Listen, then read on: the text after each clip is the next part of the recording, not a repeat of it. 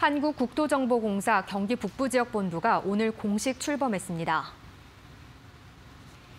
LX공사는 오늘 오전 남양주시에 위치한 LX 경기 북부지역본부에서 개청식을 열었습니다.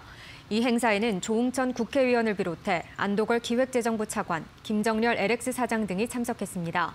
그간 경기 북부 지역은 신도시 개발 등으로 인구가 급증하면서 행정 수요도 많아졌지만 수원에 위치한 경기 지역 본부가 모든 업무를 도맡으면서 업무 가중과 도민들의 불편이 커진 바 있습니다. 이에 LX공사는 LX 경기 지역 본부를 경기 남부와 경기 북부로 분리하고 경기 북부 지역 본부를 신설했습니다.